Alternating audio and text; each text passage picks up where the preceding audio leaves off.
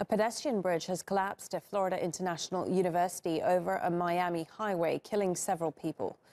Vehicles are still trapped under the rubble and authorities are attempting rescues. The bridge was only recently installed and was designed to withstand hurricane force winds. Let's get more on the story. Kim Roddis is a professor of civil environmental engineering at George Washington University. She joins us now from Washington. Kim, many thanks for joining us on the program. Now, let's start off uh, by talking a bit more about this bridge. I believe uh, it was built in just a few hours. How is that possible?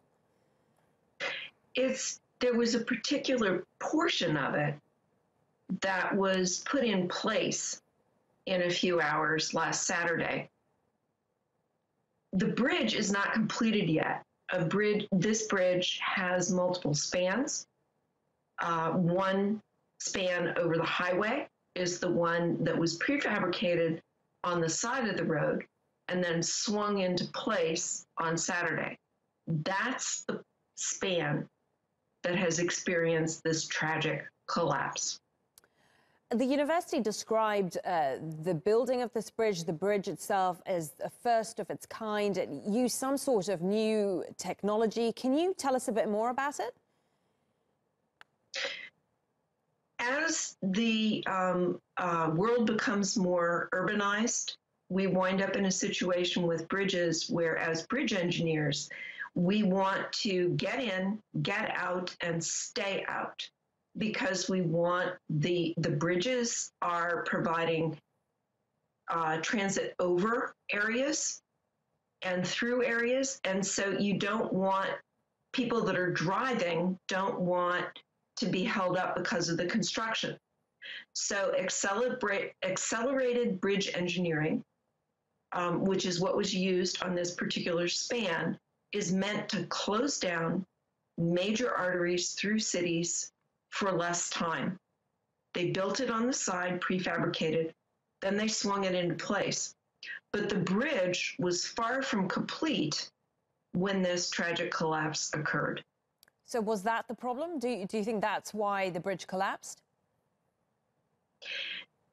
When structures, buildings, and bridges collapse, it is almost always during construction it's very, very difficult to get these large, heavy structures into place.